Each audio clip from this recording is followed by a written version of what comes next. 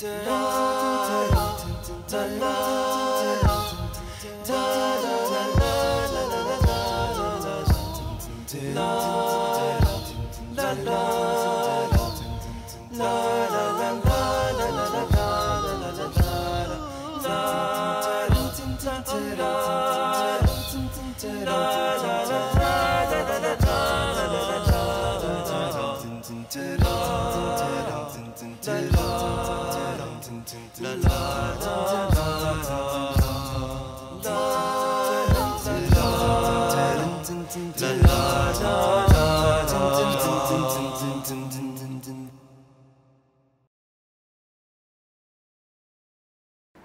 نحن حللنا هذه المشكلة بفضل الله سبحانه وتعالى من خلال خدمة ما بعد البنك هذا نظام يساعد في متابعة الحالة ويعطينا إحنا أشخاص متخصصين لمساعدتك وخدمتك تذكيرا لنا حتى نتواصل معك أولا بأول ونرى رغباتك وحاجاتك وما تريد وما تحب ونلبيها لك على أفضل وأعلى مستوى. ونستطيع أن نتابع معه بكل سهولة ودقة دون أن نسأل أي سؤال. فقط نريد اسمه أو رقم تليفونه. ندخلها على النظام فيسجل لدينا.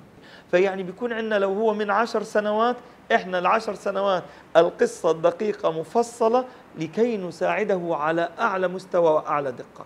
لاحظوا أيضا أن موقعنا يشرح تقريبا كل الطب يعني لم نترك مرضا من أمراض الطب إلا وتحدثنا عنه بناء على المعلومات العلمية الموثقة وبناء على فهمنا في نظام الغذاء الميزاني ثم نقدمها لكم على أبسط وأدق و أسهل طريقة ممكن. وهدفنا بإذن الله مساعدة الناس على حصول على ثقافة علمية مبسطة ممتازة وأن يستطيعوا من خلال تغيير أنماط حياتهم الحصول على حياة أفضل.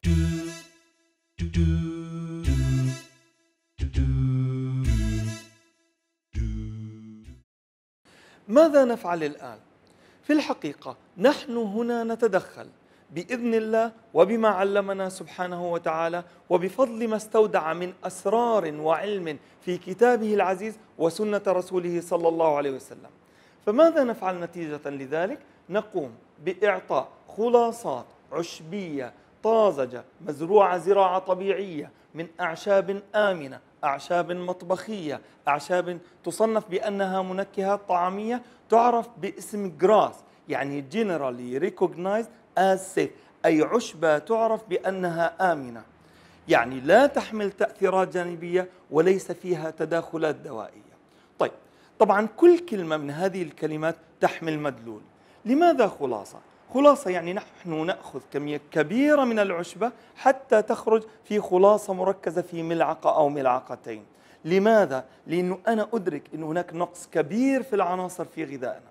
أصلا لا أستطيع أن أعتمد على هذا الغذاء، هذا الغذاء هو كان سبب المشكلة، فكيف يمكنه أن يكون سبب الحل؟ ومن ثم نحن نعتمد على عصارة مركزة غنية بالعناصر أعلى من المعدل الطبيعي ولكن ضمن الجرعات الطبيعية. وتشير مجموعة من الدراسات إلى أن الأعشاب سبحان الله خلقها الله غنية بالعناصر الوفيرة والعناصر النادرة. ولعل هذا من إعجاز القرآن الكريم عندما جمع الأعشاب مع الأطعمة لسبحان الله لغناها بهذه العناصر. الله سبحانه وتعالى يقول فيها فاكهة وهذا غذاء والنخل ذات الأكمام أيضا غذاء والحب ذو العصف غذاء والريحان. الريحان كل نبات ذو رائحة عطرة فهو ريحان. ومن ثم البابونج ريحان والزعتر ريحان وإكليل الجبل ريحان والخزامة ريحان واليانسون ريحان وهكذا. ولذلك جمعها الله مع هذه الأطعمة لغناها بالعناصر. وكما قلنا تشير عدد كبير من الدراسات بغناها بالعناصر. طيب لماذا طازجة؟ نحن نأخذ عشبة طازجة لنحافظ على مكوناتها. لأن الدراسات تشير أن تجفيف العشبة سيعرضها إلى درجات حرارة مرتفعة. هذه الحرارة تساهم بدورها في إفقادها كمية كبيرة من عناصرها. ومن ثم نحن نحرص على استخلاص العشبة بخلاصة عن طريق الاستخلاص البارد دون تعريضها لأي حرارة وأن نأخذها طازجة بإذن الله سبحانه وتعالى. قلنا أيضا بأنها أعشاب آمنة مصنفة حسب دستور الولايات المتحدة الأمريكية باسم جراس اختصارا لكلمة Generally Recognized as Safe ومصنفة حسب اللجنة الأوروبية الكوميتي بأنها منكهات طعامية فهي جزء من الطعام. ومن ثم هذه طبعا اختبارها بأنها جراس Generally Recognized as Safe يخضع لمعايير عالية ومقاييس عالية واعتمدت الولايات المتحدة وأفنى عدد كبير من الخبراء عمرهم في وضع هذا النظام حتى يؤكد أن هذا الطعام أو هذه العشبة مستخدمة منذ آلاف السنين وموجودة في المطبخ عند الإنسان منذ آلاف السنين ولا تسبب أي ضرر ولا أي مشكلة. ولذلك سيجد كل من يستخدم هذه المنتجات أننا لن نستخدم في المستقبل أي عشبة غريبة أي عشبة غير معروفة أي عشبة أتت من جزر الواق أو من مكان غريب جدا سبحان الله. ونحرص في خلاصتنا أن تكون موزونة. لماذا؟ لأننا نعتقد أن الله سبحانه وتعالى عندما قال في سورة الحج والأرض مددناها وألقينا فيها رواسي وأنبتنا فيها من كل شيء موزون. فما يخرج من الأرض على طبيعته دون التدخل في جيناته أو إضافة هرمونات أو سماد كيماوي أو مبيدات حشرية هو موزون بهذا الشكل. موزون بعناصره بعناصره الوفيرة بعناصره النادرة بنسب عناصره إلى بعضها البعض هو موزون بهذا الشكل سبحان الله. ولذلك نحن نحرص في عملية الاستخلاص على أن تبقى العشبة موزونة. فماذا نفعل؟ كل عشبة كما نعلم فيها خلاصة مائية وخلاصة زيتية. يعني مجموعة من العناصر الذوابة في الماء يسمونها الخلاصة المائية ومجموعة من العناصر الذوابة في الزيت التي يسمونها الخلاصة الزيتية. نحن نحرص على استخلاص الخلاصتين كلاهما. لماذا؟ لأني أريد كل العناصر التي خلقها الله سبحانه وتعالى ونحن أخذناها من عشبة مزروعة بشكل طبيعي دون أي إضافات كيماوية أو هندسة وراثية أو غيرها حتى أحافظ على مكوناتها موزونة بإذن الله سبحانه وتعالى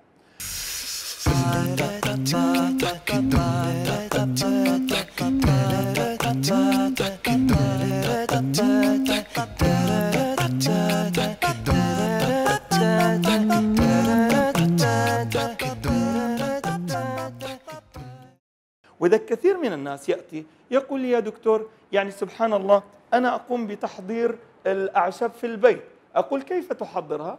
يقول أنا أخذ العشبة أضعها في الماء وأغليها أقول أنت بهذه الطريقة أفقدتها عدد كبير من توازنها لماذا؟ أولا مجرد ما وضعت العشبة في الماء الخلاصة المائية بالفعل تذوب في الماء ويمكن أن تذوب في الماء ولكن الخلاصة الزيتية والمواد الذوابة في الزيت هي قليلة الذوبان في الماء وأحيانا لا تذوب نهائيا. مما يجعل إنه لدينا مشكلة إنه أنا استخلصت جزء من الخلاصة اللي هو المائية ولم أستخلص جزءا آخر وهذا بدأ يعمل خلل في التوازن. ليس هذا فقط أحيانا المادة الفعالة التي أريدها من أجل أن تفيد الجسم هي موجودة في الخلاصة الزيتية وليست في الخلاصة المائية. ليس هذا فقط نحن نلاحظ سبحان الله أن الناس عندما تحضر الأعشاب تقوم بغليانها والغليان يعني درجة الحرارة 100 أو أعلى من 100 درجة الحرارة العالية كما تشير الدراسات وبين 50 و 80 درجة مئوية تبدأ تتنشط الإنزيمات التي تقوم سبحان الله بتخريب المواد الفعالة الموجودة في الأعشاب. ولذلك نحن نكون حريصين على استخلاص العشبة على البارد. وليس هذا فقط تشير كثير من الدراسات إنه تحضير الماء بالنقع يفقدها عدد كبير من عناصرها. وهنا يجب أن أنوه إلى نقطة هامة جدا. نحن نتحدث عن الأعشاب كاملة العناصر وفي الحقيقة أنه حفظ الأعشاب وتخزينها ونقلها هو علم قائم بحد ذاته. من أجل هذا أنشأنا حسب نظام الآيزو 22000 الذي نعمل فيه في مصنعنا 22000 2005 أنشأنا نظاما للحفاظ على العشبة من لحظة اقتطافها إلى تخزينها إلى تصنيعها. ماذا نفعل؟ أول شيء من المهم جدا ألا تتعرض العشبة للضوء. تشير كثير من الدراسات أنه الضوء وتسليط الضوء على العشبة سيتلف مركبات الفينول فيها وقد يخرب كثير من المركبات الأخرى. وإذا كما تلاحظون نحن نحفظ منتجاتنا في زجاجات غامقة عاتمة تمنع دخول الضوء بشكل رئيسي. ليس هذا فقط نحن الآن نمنع وصول الأكسجين إلى العشبة لأن الدراسات تشير أنه تعرض العشبة للأكسجين سيؤدي إلى حدوث أكسدتها وأحيانا ليس فقط تفقد موادها الفعالة. إنما أيضا تصبح ضارة يعني ليس فقط أنه تفقد الفوائد إنما تزداد ضررا بتعرضها للأكسجين. وإذا نحن نحفظ أعشابنا بأكياس خاصة نفرغها من الهواء بل ونضع النيتروجين ونفرغها عدة مرات. وهذه الأكياس مصنوعة من بولي إيثيلين بولي بروبيلين مع ألمنيوم غير نفاذة لأي شكل ولا أي نوع من أنواع الهواء. ولذلك فنحن دائما نحرص وبإذن الله سبحانه وتعالى على الحفاظ على مكونات العشبة لتبقى موزونة. ومن ثم تعطينا العشبة. كمية كبيرة من العناصر الوفيرة وكمية كبيرة من العناصر النادرة التي تلعب دور ككو إنزيمات تساهم في بناء الخلايا وتجدد الخلايا وأداء وظائف الخلايا حتى يصل إلى أعلى مستوى ممكن. ونوجه ذلك نحو العضو الضعيف فبإذن الله نحصل على نتائج ممتازة. طبعا نحن عادة نضيف اللبأ وعشبة القمح مع منتجاتنا. لماذا؟ هذين الطعامين غنيان جدا جدا جدا بعوامل النمو اللبأ هو المادة التي تخرج من ضرع الماشية في أول ثلاث أيام بعد الولادة وخلقها الله سبحانه وتعالى غنية بعوامل النمو لماذا؟ لأنه كثير من الأطفال ممكن أن ينولد خديجا يعني لم يكمل تسع شهور يعني ينولد مثلا ست شهور أو سبع شهور فكثير من أعضاء جسمه لم يكتمل نموها هي بحاجة لعوامل نمو عوامل النمو هذه تساعد في تحول الخلايا الجنينية إلى خلايا مكتملة. وبالرغم أن مادة اللبأ تخرج فقط في أول ثلاث أيام بعد الولادة ولكنها تساعد الطفل بشكل كبير في تطور أعضائه التي لم تتطور بشكل جيد.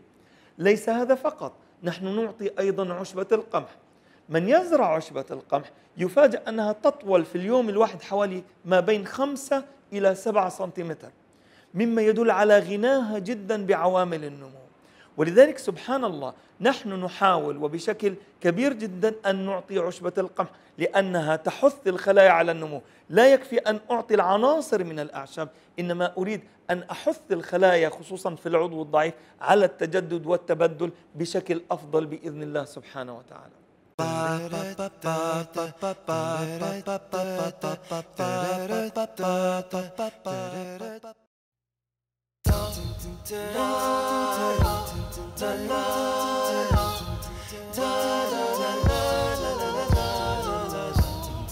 love.